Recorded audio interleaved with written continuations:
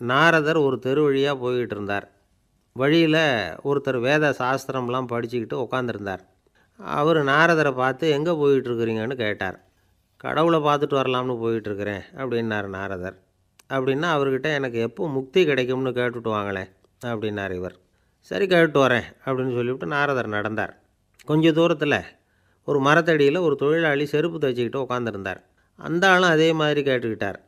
எனக்கு எப்போ முக்தி கிடைக்கும்னு கடவுள்கிட்ட கேட்டுக்கிட்டு வாங்களேன்னார் அவர்கிட்டையும் சரின்னு சொல்லிவிட்டு நாரதர் நேராக வைகுண்டத்துக்கு வந்து சேர்ந்தார். கடவுளை பார்த்தார். இவங்க ரெண்டு பேரும் சொல்லி அனுப்பின விஷயத்தை பற்றி கேட்டார். அதுக்கு கடவுள் சொன்னார் அந்த செருப்பு தைக்கிற தொழிலாளி உடல் நீத்ததும் உடனே என்னை வந்து அடைவான். ஆனால் அந்த சாஸ்திரம் படித்த ஆள் இப்போதைக்கு என்கிட்ட வந்து சேர மாட்டான். அவன் இன்னமும் பல பிறவிகள் எடுத்து அங்கேயே இருக்க வேண்டியிருக்குது. எப்போ இங்கே வந்து சேருவான்னு எனக்கே தெரியாது. அப்படின்னார். நாரதருக்கு இதோட ரகசியம் என்னங்கிறது புரியல. எனக்கு ஒன்றும் புரியலையேன்னாரான் கடவுள்கிட்ட. சீக்கிரம் புரிஞ்சுக்குவேன் நீ திரும்பி போகிறப்போ நான் இங்கே வைகுண்டத்தில் என்ன செஞ்சுக்கிட்டு இருக்கேன்னு கேட்டால் ஒரு ஊசியின் துவாரத்தில் ஒரு யானையை கோத்துக்கிட்டு இருக்கிறேன்னு அவங்கக்கிட்ட சொல்லு அப்படின்னார் கடவுள் சிரிச்சுக்கிட்டே. நாரதர் பூமிக்கு திரும்பினார். கடவுளை பார்த்தீங்களா? எப்படி இருக்கார்? அப்படின்னு விசாரித்தார் வேத சாஸ்திரம் படித்தவர் ஓ பகவானா? அவர் வந்து யானையை வந்து ஊசியின் காதில் நுழைச்சிக்கிட்டு இருக்கிறார். பார்த்தேன்னார் நாரதர். ஊசி காதில் யானையா? அது எப்படி முடியும்? நீங்கள் சொல்கிறத நான் நம்ப மாட்டேன்னு விட்டார் அவர். சரி இந்த ஆளுக்கு இறைவன் பேரில் நம்பிக்கை இல்லை அப்படிங்கிறத நாரதர் புரிஞ்சுக்கிட்டார். அடுத்தபடியாக அந்த தொழிலாளி இருந்த இடத்துக்கு போனார். இறைவனை பார்த்தீங்களான்னு கேட்டார் அவர். பார்த்தேன் ஒரு ஊசி துவாரத்தில் யானையை கோத்துக்கிட்டு இருந்தார் அப்படின்னு சொல்லிவிட்டு நாரதர் அந்த ஆள் முகத்தை கவனித்தார் அந்த தொழிலாளி இதை கேட்டுட்டு கொஞ்சம் கூட ஆச்சரியப்படலை. அவரால் முடியாத காரியம் கூட உண்டானார். என்ன இப்படி சொல்கிற ஊசியின் துவாரத்தில் யானையை கோக்க முடியும்னு நீ நம்புறியா? அப்படின்னு கேட்டார் நாரதர். நிச்சயமாக நம்புகிறேன்னார் அவர்.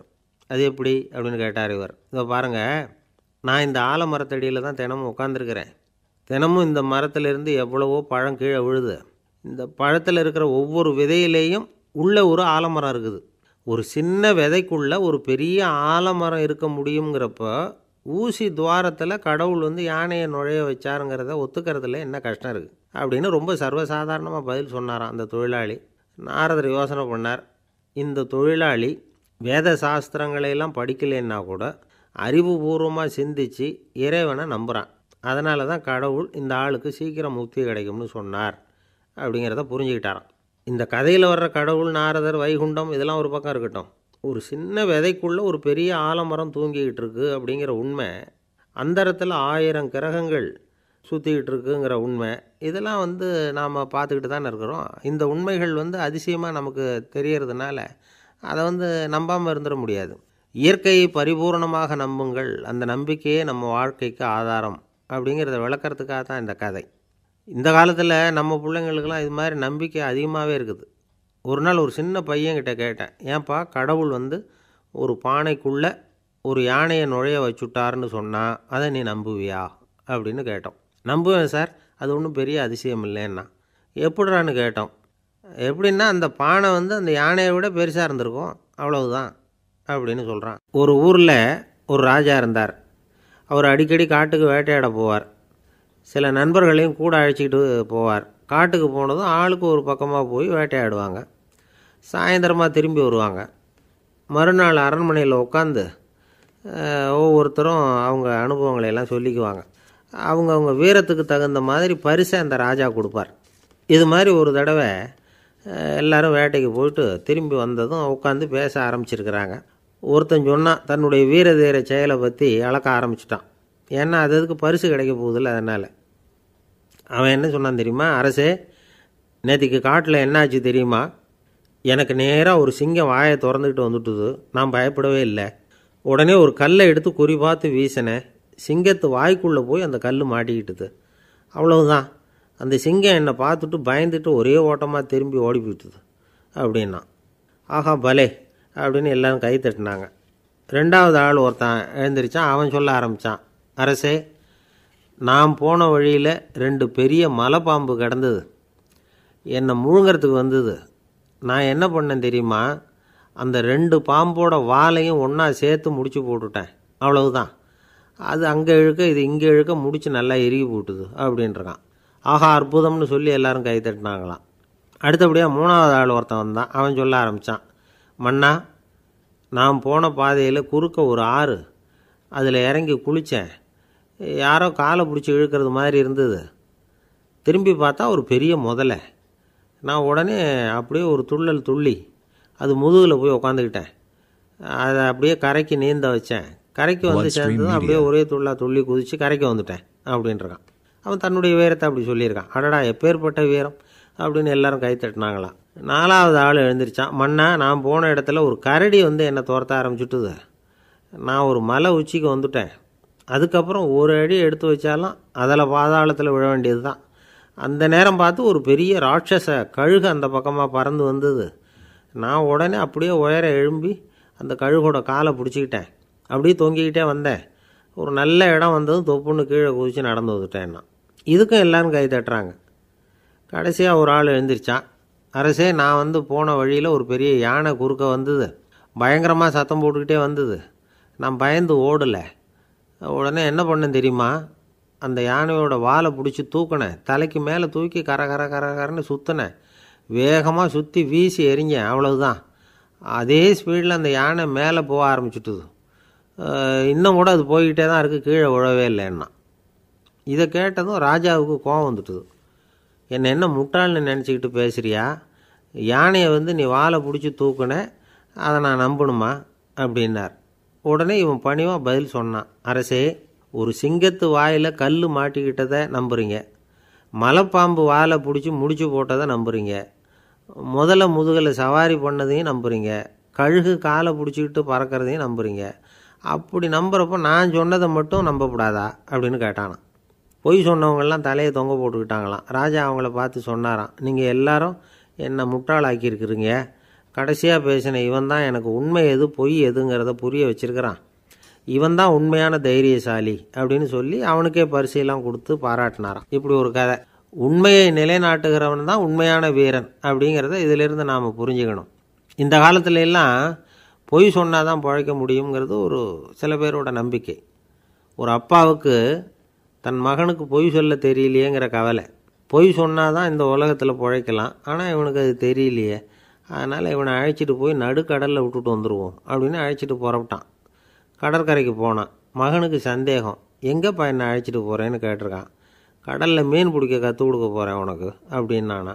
நான் ஏற்கனவே மீன் பிடிச்சிட்டேனேன்னானா இவன் மகன். எங்கே அதுன்னு கேட்டிருக்கான் அப்பங்காரன். சுட்டு சாப்பிட்டுட்டேன்ருக்கான் புள்ள. அப்பங்காரன் பார்த்தான். சரி நம்ம புள்ள பொழைச்சிக்கோ அப்படின்னு சொல்லி திருப்பி அழைச்சிட்டு வந்துட்டானா. ஒரு ஆள் அசையாமல் கிடக்கிறார். அவர் இருக்காரா போயிட்டாராங்கிறத எப்படி முடிவு பண்ணுறோம் அவர் மூக்குக்கு முன்னாடி புறங்கையை வச்சு பார்க்குறோம். மூச்சு வருதா இல்லையா? அப்படிங்கிறத கண்டுபிடிக்கிறதுக்காக. மூச்சுங்கிறது அவ்வளவு முக்கியமான ஒரு விஷயம். சுவாசம் இல்லைன்னா எதுவுமே இல்லை.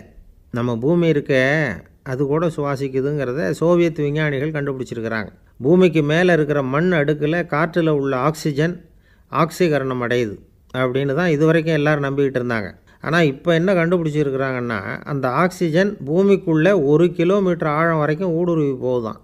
பூமிக்குள்ளே ரெண்டு பக்கமும் பல கிலோமீட்டர் வரைக்கும் பரவு தான் பூமிக்குள்ளே இருக்கிற நீர்நிலை அடுக்குகள் தான் நுரையீரல் செய்கிற வேலையை செய்யுதான். நம்ம உடம்புல நுரையீரல் இல்லைன்னா ஒன்றும் நடக்காது. ஒரு மரத்தை தலைகீழாக தொங்க போட்டால் எப்படி இருக்கும்? அப்படி யோசிச்சு பாருங்கள் அப்படி தான் இதுவும். நுரையீரலும் அப்படி தான் இருக்கும். வலது பக்கம் ஒன்று இடது பக்கம் ஒன்று வலது பக்கம் நுரையீரல் கொஞ்சம் பெருசாக இருக்கும். நுட்பமான நரம்பு குழாய்கள் அதில் இருக்கும். கோடிக்கணக்கான நுண்ணிய குழாய்களை வந்து வச்சுக்கிட்டு தான் அது வேலை செய்யுது. இருபத்தஞ்சி கோடி குழாய்கள் இருக்கும். அதை அப்படியே முழுசாக பிரித்து பரப்புனா ஒரு டென்னிஸ் கோர்ட்டில் பாதி பரப்பளவு இருக்குமா? நுரையீரல் நிறம் வந்து கருஞ்சிவப்பு தான். புகை அதிகமாக உள்ளே போச்சுன்னா அது கருப்பாயிடுது. காற்றுல உள்ள பிராணவாயுவை இது இழுத்து எடுத்துக்கிட்டு ரத்தத்தை சுத்தப்படுத்துகிற முக்கியமான வேலையை இது செய்யுது. அசுத்த காற்றை வெளியில் அனுப்பி வச்சுருது. ஒருத்தர் வேகமாக ஓடி வரார். அவருக்கு மூச்சு இறைக்கும் பயங்கரமாக எதையாவது பார்த்து விடுறார். உடனே மூர்ச்சி ஆகிடுவார் இது மாதிரி சமயங்களில் வேறு எந்த தூண்டுதலும் இல்லாமல் நுரையீரல் தானாகவே இயங்கும். இப்படி ஒரு அவசியம் ஏற்படுறப்போ இயக்கத்தை தூண்டி விடுற முக்கியமான இணைப்பு மூளைக்கு கீழே முதுகு எலும்புக்கு மேற்பகுதியில் இருக்குது. அது உடனே சுவாசத்துக்கு அவசர உதவியை கொடுக்குது. இப்போ ஒருத்தர் பேசாமல் உட்காந்துருக்கார் இந்த சமயத்தில் அவருக்கு ஒரு பங்கு காற்று தேவைப்படுதுன்னு வச்சுக்கோங்க. அவர் எழுந்திரிச்சு நடக்கும் பொழுது ஒன்றரை மடங்கு தேவைப்படும். ஓடினார்னா மூணு மடங்கு தேவைப்படும். படுத்திருக்கிறப்ப அரை மடங்கு தான் தேவைப்படும். இதுக்கு நிமிஷத்துக்கு பதினாறு தடவை மூச்சு விட்டாகணும். இப்படி சாதாரணமாக உள்ளே இழுக்கிற காற்று கொஞ்சம்தான் இருந்தாலும் இது மாதிரி எட்டு மடங்கு காற்றை வந்து உள்ளே இழுத்து வச்சுக்கிற சாமர்த்தியம் நுரையீரலுக்கு இருக்குதான். தண்ணி நுண்கிருமிகள் ரசாயன பொருள் இப்படி எது உள்ளே போனாலும் நுரையீரல் சமாளிச்சுக்கும். முப்பது வருஷமாக விடாத புகை பிடிக்கிறவர் தொடர்ந்து உள்ளே அனுப்பி வைக்கிற புகையை கூட சமாளிக்குதுன்னா பார்த்துங்களேன். உள்ளே போகிற புகை நுட்பமான சுவாச முடிச்சுகளை அழிச்சு விடுது. கறி புகை அது மேலே படிஞ்சு உபயோகம் இல்லாமல் பண்ணிவிடுது. ஆனாலும் தேவைக்கு அதிகமாக எட்டு மடங்கு கூடுதலாக சுவாச முடிச்சுகள் நம்ம உடம்புக்குள்ளே இருக்கிறதுனால சமாளிக்க முடியுது. சமாளிக்க முடியலன்னா சில சமயம் மூச்சு திணறும். அதை ஒரு எச்சரிக்கையாக எடுத்துக்கிட்டு புகை பிடிக்கிற பழக்கத்தை விட்டுடணும் அதுதான் நல்லது. ஆனால் அப்படி யார் விடுறது? இணை பிரியாத ரெண்டு நண்பர்கள் இருந்தாங்களாம். ரெண்டு பேரும் விடாமல் சிகரெட் குடிக்கிறவங்க. அதில் ஒருத்தன் செத்து போட்டான். இன்னொருத்தன் அதுக்கப்புறம் ரெண்டு ரெண்டு சிகரெட்டாக குடிக்க ஆரம்பித்தானான் ஏன் இப்படி பண்ணுறேன்னு கேட்டிருக்காங்க. நான் ஒரு சிகரெட்டு தான் குடிக்கிறேன். செத்து போன என்னுடைய ஃப்ரெண்டு இருக்கானே செத்து போனவன் அவனுக்காக இன்னொரு சிகரெட்டு குடிக்கிறேன் அப்படின்னு நானான் இது ரொம்ப ஆபத்து விட்டுடு அப்படின்னு சொல்லியிருக்காங்க. சரின்னு ஒத்துக்கிட்டான். ஆனால் அதுக்கப்புறமும் ஒரு சிகரெட் வீதமாக குடிச்சிக்கிட்டே இருந்தான். சிகரெட் பழக்கத்தை நீ இன்னும் விடலையான்னு கேட்டாங்களாம். அந்த பழக்கத்தை நான் எப்போவோ விட்டுட்டேன். இப்போ நான் குடிக்கிறது என் ஃப்ரெண்டுக்காக அப்படின்னு நானான் இவங்கெல்லாம் எப்படி திருந்துறது? என்னை விட யோக்கியம் இந்த உலகத்தில் வேறு யாரும் இல்லை சார் அப்படின்னார் ஒருத்தர். அவரை விட அயோக்கியன் வேறு யாரும் இருக்க முடியாதுங்கிற முடிவுக்கு கேட்டவங்க வந்துட்டாங்களாம். மனுஷனுக்கு இருக்கிற ஒரு மிகப்பெரிய குறையே தன்கிட்ட இருக்கிற குறை அவனுக்கு தெரியாமல் போகிறது தான் ஆனால் அடுத்தவங்ககிட்ட இருக்கிற குறை இவனுக்கு தெளிவாக தெரிஞ்சிடும் ஒரு ஒட்டகம் ஒரு கொக்கை பார்த்து ஒரு கேள்வி கேட்டு தான் என்ன கேள்வி தெரியுமா? உன் கழுத்து ஏன் இப்படி வளைஞ்சு போயிருக்குது? அப்படின்னு கேட்டிருக்கு. இதுக்கு உடம்பே வளைச்சல். இது போய் கொக்கை கிண்டல் பண்ணுது. இன்றைக்கி மனித சுபாவமும் கிட்டத்தட்ட இப்படி தான் இருக்குது. இந்த உலகத்தில் குறையில்லாத மனிதர்கள் யாரும் கிடையாது. நாம் உள்பட அப்படிங்கிறத முதல்ல நாம் நல்லா புரிஞ்சுக்கணும். ஒரு ஊரில் ஒரு விற்பனை நிலையம் இருந்தது. செல்ல பிராணிகளை விற்பனை செய்கிற நிலையம் அது. நாய் கிளி பூனை இப்படி நிறைய வச்சு விற்பனை பண்ணிகிட்ருக்குறாங்க நாய்க்குட்டி விற்பனை செய்கிற பகுதியில் ஒரு சிறுவன் நின்றுக்கிட்டு இருந்தான். விற்பனை செய்கிற ஆளுகிட்ட விலை கேட்டுக்கிட்டு இருந்தான். அதோ இருக்குதே அந்த நாய்க்குட்டி என்ன விலை? அப்படின்னு கேட்டானா. ஆயிரம் ரூபா அப்படின்னாராம் சரி அது வேணாம் இது என்ன விலைன்றிருக்கான்? ஐநூறுரூவா அப்படின்னாராம் இந்த சின்ன பையன் கையில் வச்சுருந்தது வெறும் ஐம்பது ரூபா தான். அதனால் இதை விட குறைச்சலாக கிடைக்குமான்னு பார்த்துருக்கான். அந்த கடையில் ஒரு மூலையில் சரியாக கவனிக்கப்படாமல் ஒரு நாய்க்குட்டி படுத்து கிடந்தது. பாவமாக கத்திக்கிட்டு இருந்தது. அதை பார்த்ததுமே இவனுக்கு அது ரொம்ப பிடிச்சி போச்சு. உடனே அந்த கடைக்காரரை பார்த்து அதுவும் அந்த மூலையில் படுத்து கிடக்குதே. அந்த நாய்க்குட்டி என்ன விலை அப்படின்னு கேட்டிருக்கான். தம்பி அது ஒரு கால் ஊனம்.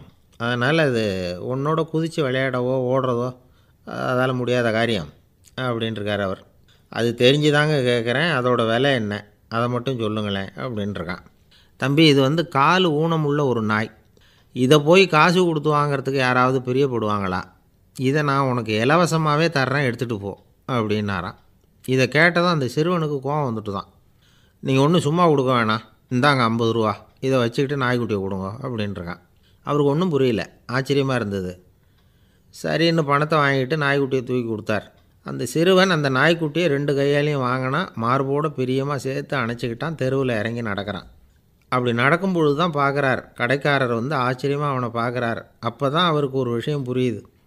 அந்த சிறுவன் தெருவில் நாய்க்குட்டியை மார்போடு அணைச்சிக்கிட்டு விந்தி விந்தி நடந்து போய்கிட்டு இருக்கிறான். ஆமாம் அவனுக்கும் ஒரு கால் ஊனும் இந்த நாய்க்குட்டியை யாருமே வாங்க மாட்டாங்கன்னு நினச்சிக்கிட்டு இருந்தார். குறையுள்ள அதுக்கும் ஒரு எஜமானன் கிடச்சிட்டான். அதனால் ஊனம் ஒரு குறை இல்லை அப்படிங்கிற உண்மையை அந்த கடைக்காரர் புரிஞ்சுக்கிட்டாராம். நம்மால் ஒருத்தர் கொஞ்சம் வயசானவர் எழுந்திரிச்சு சரியாக நடக்க முடியாது சாய்வு நாற்காலியிலேயே எப்பவும் உட்காந்துருப்பார் அவர் தனக்கு துணையாக ஒரு நாயை பக்கத்தில் வச்சுருந்தார். அதுவும் ரொம்ப வயசான ஒரு நாய் எழுந்திரிக்கவே சிரமப்படும் நடக்கவும் முடியாது. அவர் பக்கத்துலேயே இதுவும் சோர்ந்து போய் படுத்து கிடக்கும். அந்த பெரியவரை பார்க்க வந்த ஒருத்தர் கேட்டார். ஏங்க ஒரு சின்ன பையனை உங்களுக்கு துணையாக வச்சுக்கக்கூடாதா இந்த நாயை உங்களுக்கு பாதுகாப்பாக வச்சுருக்கிறீங்களே உங்களுக்கு ஒரு ஆபத்துன்னா இது எப்படி உங்களுக்கு உதவ முடியும்? அப்படின்னார். அப்போ அவர் சொன்னாராம் எனக்கு ஒரு ஆபத்துன்னா அந்த சமயத்தில் இந்த நாய் என்னை தனியாக விட்டுட்டு ஓடி போயிடாமல் இருக்கணும்ல அதுக்காக தான் இதை நான் வச்சுருக்கிறேன் அப்படின்னாராம். நம்மளில் சில பேர் ரொம்ப தைரியமாக இருப்பாங்க. நாம் கூட சொல்கிறது உண்டு. அந்த ஆளுக்கிட்ட வர்றதுக்கு எமன் கூட பயப்படுவான் அப்படின்னு சொல்கிறது உண்டு. தைரியசாலிகளை நெருங்கிறதுக்கு யமன் பயப்படுவான் அப்படின்னு சொல்கிறது உண்மை தான் அது பொய் இல்லை. மன வலிமை இருக்குது பாருங்கள் அது மனுஷனை காப்பாற்றும் இது வந்து மருத்துவ ரீதியான உண்மை. உடல் கோளாறுகள் மன ஆரோக்கியத்தை பாதிக்கும். மன எழுச்சி மன போராட்டம் இதெல்லாம் வந்து உடல் இயக்கத்தில் மாறுதலை உண்டாக்குது.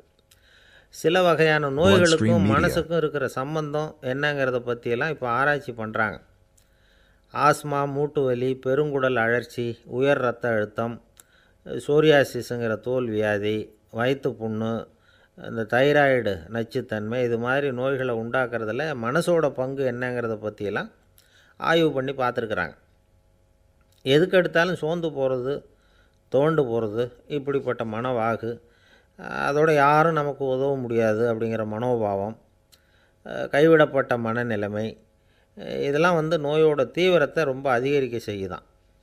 இவங்கள்லாம் அந்த கை கால் வலிக்குது உடம்பு அசதியாக இருக்குது தூக்கம் வரல முதுகு வலிக்குது உடம்பில் உடம்புல வந்து உணர்ச்சி குறையுது கை கால் விரல்லாம் மறத்து போகுது இப்படி ஏதாவது சொல்லிக்கிட்டு டாக்டர்களை தேடி வந்துக்கிட்டு இருப்பாங்க.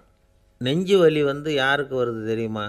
பதற்றம் போட்டி மனப்பான்மை அளவுக்கு அதிகமான வேகம் துடிப்பு பேராசை இதுலேயும் கட்டுப்பாடு நேரம் தவறாமை அப்புறம் இதெல்லாம் வந்து உள்ள மனவாக இரு- உள்ளவங்க இருக்கிறாங்கல்ல அவங்க பெரும்பாலும் நெஞ்சு வலிக்கு ஆளாயிடுறாங்களாம்.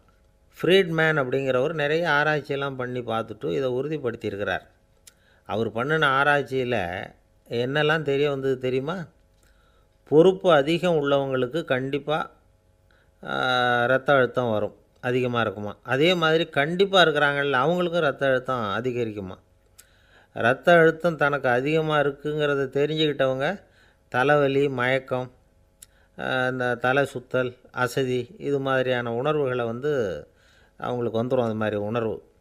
ஆனால் உண்மை என்ன தெரியுமா? இதெல்லாம் வந்து ரத்த அழுத்தத்தினால இல்லை. ரத்த அழுத்தம் கட்டுப்பாட்டுக்குள்ளே இருந்தால் கூட இவங்க இப்படி நினைக்கிறாங்களாம். இதுக்கு காரணம் மனசு தான் அப்படிங்கிறார் அவர். சில பேர் எப்படி தெரியுமா? ஒருத்தர் வந்து மாரடைப்பால் இறந்து போனார் அப்படின்னு கேள்விப்பட்டால் போதும். இறந்து போகிறதுக்கு காரணம் இதயம்தான் அப்படிங்கிற பீதியால் இதய தளர்ச்சி அப்படிங்கிற மனநோயால் பாதிக்கப்படுறார். இவங்கெல்லாம் அடிக்கடி தங்களுடைய இதய பகுதியை தொட்டு பார்த்துக்குவாங்க. நாடியை பிடிச்சி பார்த்துக்குவாங்க. அடிக்கடி மூச்சை உள்ளுக்கு இழுத்து வெளியில் விட்டு வலி வருதா அப்படின்னு பார்த்துக்கிட்டு இருப்பாங்க. வேறு எங்கேயாவது வலிச்சா கூட நெஞ்சை வலிக்குதா? அப்படின்னு பார்ப்பாங்க. நெஞ்சு வலிக்குதுன்னு கூட சில பேர் சொல்ல ஆரம்பிச்சிருவாங்க. ஆஸ்மாவுக்கும் மனசுக்கும் சம்பந்தம் உண்டு. தீர்வு காண முடியாத மன போராட்டங்கள் எல்லாத்துக்கும் அடுத்தவங்களையே சார்ந்து இருக்கிற மனநிலை இதெல்லாம் ஆஸ்மாவினுடைய தீவிரத்தை வந்து அதிகப்படுத்திடும் பயம் இது எப்படின்னா என்ன நடக்குமோங்கிற பதட்ட நிலை அப்புறம் இந்த பயம் இதெல்லாம் வந்து சுவாசித்தலை வந்து அதிகரிக்க செய்யுது இல்லையா? இதனால் ரத்தத்தின் காரத்தன்மை அதிகமாகி நோயின் தீவிரமும் அதிகமாகுது. மன போராட்டம் மனக்கவலை மன இறுக்கம் இதெல்லாம் வந்து தோல் வியாதியை தூண்டி விடுதான். இது மாதிரி இன்னும் எவ்வளவோ இருக்குது. அதனால் இன்றைக்கி நமக்கு தேவை என்னென்னா மன வலிமை மலர்ந்த முகம். இது ரெண்டும் இருந்துட்டுதுன்னா பலவிதமான நோய்கள் நம்மக்கிட்ட நெருங்கி வராது. டாக்டர் என்ன நெருங்காமல் இருக்கிறதுக்கு நான் ஒரு காரியம் பண்ணுறேன் அப்படின்னார் ஒருத்தர். அவர் என்ன அர்த்தத்தில் சொன்னார்னா டாக்டர் வந்து அவரை நெருங்காமல் இருக்கிறதுக்கு அவர் ஒரு காரியம் பண்ணுறாராம் நண்பர்கிட்ட சொன்னார். நண்பர் கேட்டார் அது என்ன காரியம் பண்ணுற அப்படின்னு கேட்டார். தினம் ஒரு ஆப்பிள் பழம் சாப்பிட்றேன்னார் அவர். ஏன்னா ஆங்கிலத்தில் ஒரு பழமொழி சொல்லுவாங்கள்ல an apple a day keeps doctor away அப்படிம்பாங்க. ஒரு ஆப்பிள் பழம் சாப்பிட்டா டாக்டர் விலகியே இருப்பார். டாக்டர்கிட்ட போக வேண்டிய அவசியம் இருக்காது. அப்படிங்கிறதுக்காக அந்த பழமொழி சொல்கிறது என்ன நான் யாருமே நெருங்காமல் இருக்கிறதுக்கு நான் ஒரு காரியம் பண்ணுறேன்னார் இன்னொருத்தர். டாக்டர் நெருங்காமல் இருக்கிறதுக்கு ஆப்பிள் பழம் சாப்பிட்றேன்னார் அவர். என்னை யாருமே நெருங்காமல் இருக்கிறதுக்கு நான் ஒரு காரியம் பண்ணுறேன்னார் இன்னொருத்தர். அது என்னன்னு. கேட்டோம் தினம் ஒரு பூண்டு சாப்பிட்றேன்னார். A garlic a day keeps எவ்வரிபடி அவே அப்படின்னு அதுக்கு ஒரு புது விளக்கமும் கொடுத்தார். காசி மாநகரத்தை பிரம்மதத்தன் அப்படிங்கிற ராஜா ஆட்சி பண்ணிட்டு வந்தார். அவர் ஒவ்வொரு வருஷமும் ஒரு திருவிழா நடத்துறது வழக்கம். எல்லா தேசத்திலிருந்தும் எல்லா வகையான ஜனங்களும் அதில் வந்து கலந்துக்குவாங்க. ஒரு சமயம் அது மாதிரி விழா நடந்துக்கிட்டு இருந்தது. வைகுண்டத்திலேருந்து தேவலோகத்திலேருந்து நிறைய தேவகுமாரர்கள்லாம் காசி நகருக்கு அப்போது வந்திருந்தாங்க. அதில் முக்கியமாக ஒரு நாலு தேவகுமாரர்கள் அந்த நாலு பேரையும் சுற்றி ஏகப்பட்ட கூட்டம். அப்படி என்ன விசேஷம் அவங்கக்கிட்ட அப்படின்னா மற்றவங்களை விட அவங்க முகம் அழகாக இருந்ததா? அப்படி பார்த்தா அப்படியும் இல்லை. அவங்க அணிஞ்சிருந்த மலர் மாலைகள் தான் அதுக்கு காரணமாக அந்த மலர்கள்லேருந்து அப்படி ஒரு அபூர்வமான நறுமணம். இதுக்கு முன்னாடி இப்படி ஒரு நறுமணத்தை அந்த ஊர் ஜனங்க அனுபவித்ததே இல்லை. அதுதான் அந்த நாலு பேரையும் சுற்றி கூட்டம். எல்லாரும் கேள்வி கேட்க ஆரம்பித்தாங்க உடனே அந்த நாலு தேவகுமாரர்களும் எல்லாருக்கும் தெரியும்படியாக வானத்தில் எழும்பி கொஞ்சம் உயரமாக நின்றுக்கிட்டாங்க கீழே நின்றுக்கிட்டு இருந்த அரசன்லேருந்து ஆண்டி வரைக்கும் ஒருத்தர் பாக்கி இல்லாமல் ஒரே குரலில் எல்லாரும் அவங்கள பார்த்து எங்களுக்கும் இது மாதிரி மாலையை போட்டுக்கணும்னு ஆசையாக இருக்குது அதுக்கு நீங்கள் தான் அருள் பண்ணணும். அப்படின்னு கேட்டுக்கிட்டாங்க. மாலை போட்டுக்கிறதுனா எல்லாருக்கும் ஆசையாக தானே இருக்கும். அந்த நாலு தேவகுமாரர்களில் ஒருத்தர் புத்தர் பிரான். அவர் சொன்னார் பூலோகவாசிகளே நான் சொல்கிறத கொஞ்சம் பொறுமையாக கேளுங்கள் கக்காரு அப்படிங்கிற கற்பக விருஷத்தின் மலர்களால் தொடுக்கப்பட்டது இந்த மாலை. இதுக்கு நிறைய சக்தி உண்டு. எந்த காலமும் இது வாடாது. வாசனையும் குறையாது. ஆனால் இதை அணிந்து கொள்கிறதுக்கு சில தகுதிகள் தேவை அப்படின்னார். என்ன தகுதி அது? சொல்லுங்களேன். அப்படின்னு ஏக காலத்தில் எல்லாரும் சத்தம் போட்டாங்க. தீய இயல்புகள் உள்ளவங்க இழிந்த சிந்தனை இழிந்த செயல் உள்ளவங்க இந்த மாலையை அணிய முடியாது அப்படின்னார். அவ்வளோதான் கூட்டத்தில் சத்தம் போட்டவங்கள்லாம் மெதுவாக அப்படி அடங்க ஆரம்பிச்சிட்டாங்க. இன்னொரு தேவகுமாரன் சொன்னார் அடுத்தவங்க பொருளை அபகரிக்காதவன் அடுத்தவங்களுக்கு கெடுதல் பண்ணக்கூடிய பொய் பேசாதவன். பேராசையினால் கெட்ட வழியில் பொருள் ஈட்ட நினைக்காதவன். இந்த மாலையை போட்டுக்கலாம் அப்படின்னார். கூட்டத்திலிருந்து யாரும் முன்னுக்கு வரல. ஒரே ஒரு ராஜகுரு மட்டும் கொஞ்சம் முன்னாடி வந்தார். பெரியவர் படித்தவர் அவர். எனக்கு தகுதி இருக்குது அந்த மாலையை போட்டுக்கிறதுக்கு அப்படின்னார். வேறு ஒன்றும் இல்லை. பொய் சொல்லியாவது அந்த மாலையை வாங்கிக்குவோமே அப்படின்னு முடிவு பண்ணிட்டார் அவர். அவ்வளோதான் மாலையை வாங்கிட்டார். அடுத்த தேவகுமாரன் பேசினார். யாருக்கு திடமான அறிவும் மனமும் இருக்குதோ யாருக்கு நல்ல காரியங்களில் அசையாத ஈடுபாடு இருக்குதோ நல்ல அரிய பொருள்களை தனியாக தான் மட்டும் அனுபவிக்க விரும்பாதவர் யாரோ அவர் முன்னாடி வந்து இந்த மாலையை வாங்கிக்கலாம் அப்படின்னார். அந்த தகுதியும் எனக்கு இருக்குன்னார் ராஜகுரு. மாலையை வாங்கி போட்டுக்கிட்டார். இன்னொரு ராஜகுமாரன் பேச ஆரம்பித்தார் அறநெறியில் செல்வம் சேர்க்கணும். ஆடம்பர பொருள்களுக்கு அடிமையாகக்கூடாது வெற்றி அடைஞ்சாலும் கர்வம் வரக்கூடாது. அப்படிப்பட்டவங்க இந்த மாலையை போட்டுக்கலாம்னார். துணிஞ்சு பொய் சொல்லி அதையும் வாங்கி கழுத்தில் போட்டுக்கிட்டார் இந்த ராஜகுரு. இன்னொரு ராஜகுமாரன் சொன்னார் சான்றோர்களை நிந்திக்காதவங்க புறம் பேசாதவங்க இந்த மாலையை போட்டுக்கலாம்னார். அதையும் வாங்கி போட்டுக்கிட்டார். திருவிழா முடிஞ்சுது. எல்லோரும் திரும்பி போயிட்டாங்க. மறுநாள் ராஜகுரு நாலு மாலைகளையும் போட்டுக்கிட்டு ராஜசபைக்கு வரார். வந்தவர் ரொம்ப அவஸ்தையோடு வர்றார். மாலையெல்லாம் வாடி போயிட்டுது. வாசனை எதுவும் கிடையாது. அது மட்டும் இல்லை அவருக்கு கடுமையான தலைவலி வேறு வந்துட்டுது. துடிச்சு போயிட்டார். மாலையை கழட்டவும் முடியல. ஜனங்கள்லாம் அவரை பார்த்து சிரிக்க ஆரம்பிச்சிட்டாங்க. என்னத்துக்கு ஆசைப்படணும்? ஏன் இப்படி கஷ்டப்படணும்? அப்படின்னு. ராஜா பார்த்தார். மறுபடியும் விழாவுக்கு ஏற்பாடு பண்ணினார். தேவகுமாரர்கள்லாம் வந்தாங்க. ராஜகுரு வந்தார். மக்கள் முன்னிலையில் அவங்க காலில் விழுந்தார் மன்னிப்பு கேட்டுக்கிட்டார். இந்த மாலையை போட்டுக்கிற தகுதி எனக்கு இல்லை. தகுதி இல்லாத ஒருத்தன் தகாத தகுதியை பொய் மூலம் பெறணும்னு ஆசைப்படுறாங்களே அவங்களுக்கெல்லாம் என்னுடைய தண்டனை ஒரு எச்சரிக்கையாக இருக்கட்டும்னார். அதுக்கப்புறம் தேவகுமாரர்கள் அவர் கழுத்தில் இருக்கிற மாலையை கழட்டினாங்களாம். அந்த மாலைகளும் பழையபடி மனம் கொடுக்க ஆரம்பிச்சுட்டு தான் இதுலேருந்து நாம் தெரிஞ்சுக்க வேண்டியது என்னென்னா நமக்கு தகுதி இல்லாத ஒரு கௌரவம் நம்மக்கிட்ட தானாக வந்தால் கூட அதை வந்து தவிர்த்து விடுறது தான் நல்லது. அதுதான் புத்திசாலித்தனம். ஒருத்தர் வந்தார் சார் எங்கள் இலக்கியம் மன்ற விழாவுக்கு நீங்கள் வந்து தலைமை தாங்கணும்னார். உடனே இவர் சொன்னார் பேச்சாளர் சார் இலக்கியத்தை பற்றி பேசுகிற தகுதி எனக்கு இல்லையே அப்படின்னார். உடனே அவர் கூப்பிட வந்தவர் சொன்னார் அந்த தகுதி உங்களுக்கு இல்லைங்கிறது எங்களுக்கும் தெரியும் சார். அதனால தான் உங்களை தலைமை தாங்க கூப்பிட்றேன் அப்படின்னார். அது சரி தலைமைன்னா அதுக்கு இவர் என்ன தான் அர்த்தம் பண்ணுறாருன்னு தெரியல. ஒரே ஒரு ஊரில் ஒரு ராஜா இருந்தார். அவர் பேரில் மக்களுக்கு ரொம்ப மரியாதை. அவ்வளவு நல்லா ஆட்சி புரிஞ்சுக்கிட்டு வந்தார். அவருக்கு வயசாயிட்டுது. அதனால் ஒரு நாள் அமைச்சரை கூப்பிட்டார். இதை பாருங்கள் எனக்கு வயசாயிட்டுது. அதனால் இந்த அரச பொறுப்பையெல்லாம் நீங்கள் ஏற்றுக்குங்க அப்படின்னார். அதுக்கப்புறம் ராணியை கூப்பிட்டார். வா நாம் இனிமேல் இங்கே இருக்க வேணாம். காட்டுக்கு போய் தவம் பண்ணலாம் அப்படின்னு கூப்பிட்டார். இந்த செய்தி மக்களுக்கு அறிவிக்கப்பட்டது. மக்கள் உடனே கூட்டம் கூட்டமாக அரண்மனைக்கு வர ஆரம்பிச்சிட்டாங்க. மன்னரை போய் பார்க்குறாங்க. அரசே தாங்கள் வந்து எங்களுக்கு தந்தை மாதிரி. நீங்கள் காட்டுக்கு போயிட்டால் நாங்கள்லாம் இங்கே எப்படி இருக்க முடியும்?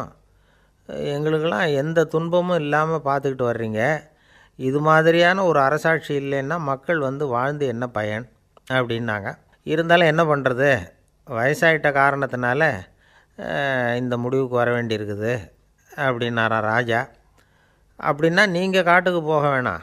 நாங்கள் போகிறோம் நாங்கள் அங்கே போய் தவம் பண்ணுறோம் வழிபாடு பண்ணுறோம் கடவுள் வருவார். அவர்கிட்ட வரம் வாங்கிட்டு வந்துடுறோம் அப்படின்னாங்களாம். அப்படி சொல்லிவிட்டு உடனே எல்லோரும் காட்டுக்கு போனாங்க. நாட்டு மக்கள் எல்லாரும் ஒட்டு மொத்தமாக வந்து காட்டில் உட்காந்துக்கிட்டு தவம் பண்ணுறதை பார்த்தார் கடவுள். உடனே புறப்பட்டு வந்தார். எல்லோரும் இப்படி வந்து உட்காந்துருக்குறீங்களே என்ன வேணும் உங்களுக்கு? அப்படின்னு கேட்டார். உடனே மக்கள் எல்லாரும் ஒரு குரலில் சொன்னாங்க சுவாமி எங்கள் மன்னன் ரொம்ப நாளைக்கு நல்லபடியாக இருக்கணும். அவர் வந்து மகிழ்ச்சியாகவும் உடல் நலத்தோடும் இருந்தால் தான் நாங்கள் அமைதியாக வாழ முடியும் அப்படின்னாங்க. சரி அதுக்கு என்ன செய்யணும்? அப்படின்னார் ஆண்டவன். எங்கள் மன்னருக்கு இன்னும் ஒரு நூறு வருஷம் ஆயுளை கொடுங்க அப்படின்னாங்க. அவ்வளவுதானே? சரி அப்படியே ஆகட்டும் அப்படின்னு சொல்லிவிட்டு ஆண்டவன் போயிட்டார். மக்கள் மகிழ்ச்சியோடு திரும்பி வந்தாங்க. மன்னா கடவுள் வரம் கொடுத்துட்டார். நீங்கள் நூறு வருஷம் வாழ போகிறீங்க அப்படின்னாங்க. இதை கேட்டதும் ராணி ராஜாவை வணங்கி நான் தவம் செய்ய போகிறேன் அப்படின்னு புறப்பட்டாங்க. உடனே மக்கள் என்ன நினச்சாங்க தெரியுமா? ஐயோ நாம் ராஜாவுக்கு மட்டும்தானே நீண்ட ஆயுள் வேணும்னு வரம் வாங்கினோம். ராணிக்கு வாங்கலையே. அதுதான் கோபத்தில் புறப்பட்டாங்க போல இருக்குது அப்படின்னு நினச்சி வருத்தப்பட்டாங்க. ஆனால் ராணி நினச்சது அது இல்லை. ராணி போய் தவம் பண்ணாங்க கடவுள் காட்சி கொடுத்தார் இவங்க. கேட்குறாங்க சுவாமி ராஜாவுக்கு மட்டும் நூறு வருஷம் ஆயுள்னு வரம் கொடுத்துட்டீங்க. அப்படின்னா குடிமக்களும் நூறு வருஷம் இருக்கணும். இப்படிப்பட்ட குடிமக்கள் இல்லைன்னா அப்படிப்பட்ட அரசன் இருந்து என்ன பிரயோஜனம்? அப்படின்னாங்களாம். ஆண்டவன் பார்த்தார் சரி அவங்களும் நூறு வருஷம் வாழ்வாங்க. அது மட்டும் இல்லை நீயும் நூறாண்டு காலம் வாழ வரமளிக்கிறேன் அப்படின்னு சொல்லிவிட்டு மறைஞ்சிட்டார். இதில் ஆண்டவன் வர்றதும் மறையிறதும் முக்கியமில்லை. இதில் கவனிக்க வேண்டியது ஆள்கிறவனின் விசால மனம் குடிமக்களின் விசால மனம் ஆள்கிறவன் மனைவியினுடைய விசால மனம் இப்படி ஒரு நாடு இருந்துட்டுதுன்னா எப்படி இருக்கும் வாழ்க்கை நினச்சி பாருங்கள் அதனால தான் பெரியவங்கள்லாம் சொல்கிறாங்க இதய வாசல் திறந்தே இருக்கணும். இதயத்தின் கதவுகளை மூடாதீங்க அப்படின்னு சொல்லுவாங்க. என்கிட்ட ஒருத்தர் சொன்னார் என்னுடைய இதய வாசல் எப்பவும் திறந்தே தான் இருக்குதுன்னார். எதனால் அப்படி சொல்கிறீங்க அப்படின்னு கேட்டோம். டாக்டரே சொல்லிவிட்டார் என்னுடைய இதயத்தில் ஒரு ஓட்டை இருக்குது அப்படின்னு. வாழ்வு சரியில்லையா? அப்படிங்கிறார். அளவுக்கு மிஞ்சினால் அமிர்தமும் நஞ்சு அப்படின்னு சொல்லுவாங்க. அது உண்மைதான். ஒருத்தருக்கு அளவுக்கு மீறிய புகழ் வந்துட்டுதுன்னு வச்சுங்க அது கூட ஆபத்தாக போயிடுறது உண்டு. பழங்காலத்துல எல்லாம் கிரேக்க தேசத்தில் ஒரு பழக்கம் உண்டாம். அதாவது யாராவது ஒருத்தரை நாடு கடத்தணும்னா அதுக்கு ஒரு வழி உண்டு. அதாவது ஒருத்தரை நாடு கடத்தணும்னு மக்கள் விரும்புகிறாங்கன்னு வச்சுங்களேன் அவர் பேரை ஒரு மண்பாண்ட ஓட்டு சில்லில் எழுதி அதை வந்து ஒரு குறிப்பிட்ட பொது இடத்துல போட்டுற வேண்டியது. அவ்வளவுதான். இது மாதிரி பல பேர் போட்டுக்கிட்டே இருப்பாங்க. எல்லாம் அப்படியே குவிஞ்சு போயிடும். அந்த ஓட்டாஞ்சில்லு குவியலில் யாருடைய பேர் அதிகமாக இருக்குதோ அந்த நபரை ஒரு பத்து ஆண்டுகள் நாடு கடத்தி விடுவாங்க இது அந்த ஊர் வழக்கமாக ஒரு நாள் அந்த குவியலுக்கு பக்கத்தில் ஒரு ஆள் நின்றுக்கிட்டு இருக்கிறான் அவன் கையில் ஒரு ஓட்டாஞ்சில்லு வச்சுருக்கிறான். அதில் யாரோட பேரையோ எழுதணும். எழுதி அந்த இடத்துல போடணுங்கிறது அவன் ஆசை. ஆனால் அவன் படிக்காதவன். அதனால் எழுத தெரியல. யாராவது அந்த வழியாக வர்றாங்களான்னு பார்த்துக்கிட்டே நின்றுக்கிட்டு இருந்தான். ஒரு. பெரியவர் வந்துக்கிட்டு இருந்தார். அவர்கிட்ட ஓடினான். கையில் இருந்த மண்பாண்ட சில்லை கொடுத்தான். ஐயா இதில் ஒரு பேர் எழுதி கொடுங்களேன்னா. அந்த பெரியவர் அதை வாங்கி கையில் வச்சுக்கிட்டு என்ன பேர் எழுதணும் சொல்லு அப்படின்னா இவன் சொன்னான் அரிஸ்டைடிஸ் அப்படின்னு எழுதுங்க அப்படின்னா. இதை கேட்டதும் அந்த பெரியவருக்கு அதிர்ச்சி. ஏன்னா அவர் தான் அரிஸ்டைடிஸ் தத்துவ மேதை அரிஸ்டைடிஸ் அவர். இருந்தாலும் நான் தான் அதுங்கிறத காட்டிக்காமல் அந்த ஆளுக்கிட்ட கேட்டார். அது சரிப்பா அரிஸ்டைடிஸுங்கிற பேரை எழுத சொல்கிற அவர் உனக்கு என்ன கெடுதல் பண்ணார்? அவர் பேரை இதில் எழுத சொல்கிறியே அப்படின்னு கேட்டிருக்கார். அதுக்கு இவன் சொன்னானா அவர் எனக்கு எந்த கெடுதலும் பண்ணலை. அவரை நான் பார்த்தது கூட இல்லை அப்படின்ட்டுருக்கான் அப்புறம் எதுக்காக அவரை வந்து நாடு கடத்தணும்னு நீ ஆசைப்படுற? அப்படின்னு கேட்டிருக்கார். இப்போ அந்த ஆள் சொல்கிறான் அரிஸ்டைடஸை பற்றி எல்லாரும் பேசுகிறாங்க அவர் ரொம்ப நல்லவர். அவர் ஒரு பெரிய அறிவாளிங்கிறாங்க. அவர் ஒரு பெரிய வள்ளல் பேரறிஞர். இப்படி எல்லாரும் சொல்கிறத கேட்டு கேட்டு எனக்கு ரொம்ப அழுத்து போயிட்டுது. அதனால தான் வெறுப்பாயிட்டேன் அப்படின்னு நானும் இதிலேருந்து என்ன தெரியுது? நாம் நல்லவனாக இருக்கிறதுல ஒன்றும் இடைஞ்சல் இல்லை. ஆனால் நம்மளை நல்லவன் நல்லவன் எல்லாரும் சொல்ல ஆரம்பிச்சிட்டாங்கன்னு வச்சுக்கோங்க. அப்போ இடைஞ்சல் ஆரம்பம்னு அர்த்தம். எதுவுமே அளவுக்கு மிஞ்சி போகாமல் பார்த்துக்க வேண்டியது ரொம்ப அவசியம். இந்த தகவல் உங்களுக்கு பிடிச்சிருந்தா லைக் பண்ணுங்க. உங்க ஃப்ரெண்ட்ஸுக்கு ஷேர் பண்ணுங்க. மறக்காம எங்க சேனலுக்கு சப்ஸ்கிரைப் பண்ணுங்க.